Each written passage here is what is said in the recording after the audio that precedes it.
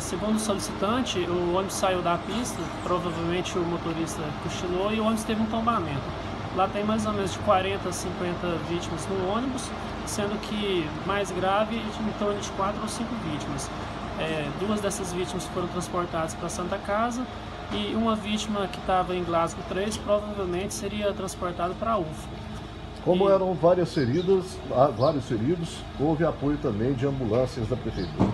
Bom, a primeira a chegar no local foi a ambulância do bombeiro, logo em seguida chegou várias ambulâncias do SAMU deslocadas de Patrocínio, Iraí, Monte Carmelo e Nova Ponte, e também da prefeitura agora está chegando para estar ajudando a, a remoção do pessoal do local. O senhor estava falando que uma pessoa mais grave foi transferida para Uberlândia, é isso? Acredito que para UFO de Uberlândia, Uberlândia ou Monte Carmelo, mas acredito que UFO de Uberlândia, que foi o pessoal do SAMU que ia fazendo esse transporte. Então, de 40 a 50 pessoas estavam no ônibus e pelo menos 5 feridos mais graves. Correto, pelo menos umas cinco pessoas em situação mais grave.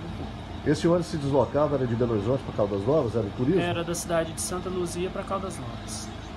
Bom, há crianças, idosos dentro do ônibus? Existia, existia crianças, idosos. Quando a gente chegou no local, tinha duas pessoas que não conseguiram sair de dentro do ônibus.